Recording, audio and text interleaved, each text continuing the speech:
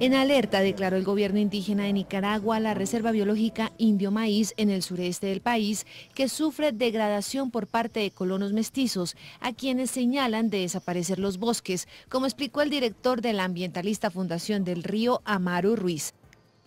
Con el sistema ambiental, de evaluación ambiental, el sistema de áreas protegidas, con toda la legislación que tenemos, es suficiente para eh, proteger esta reserva. Sin embargo, lo que carecemos es de voluntad política para hacerlo. Es decir, sí, hay voluntad política con el sistema legislativo actual vigente podemos proteger esta área. La alerta de los indígenas fue anunciada durante el foro Encuentro Nacional de Actores Sociales de la Reserva Biológica Indio Maíz, en donde científicos de al menos 10 organizaciones coincidieron en que es una de las reservas más importantes de Centroamérica.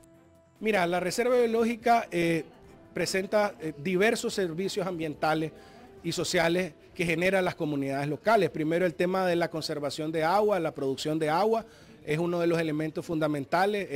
ellos tienen eh, cuatro subcuencas eh, que abastecen eh, la cuenca más grande de Centroamérica, que es la cuenca del río San Juan. Es un hábitat para al menos 1.221 especies de aves, 159 de insectos, 65 de mamíferos, 55 de reptiles, así como de 101 especies en peligro de extinción, a pesar de que no ha sido completamente estudiada. Nosotros como nicaragüenses tenemos un excelente marco jurídico ambiental, sin embargo, su talón de Aquiles siempre ha sido la aplicación, la beligerancia, la fiscalización de la aplicación de, de estos procedimientos. El gobierno Rama y Creole propuso a los poderes ejecutivo y judicial aplicar un proceso de saneamiento. El foro tiene como principal objetivo poner en evidencia las amenazas que enfrenta la reserva.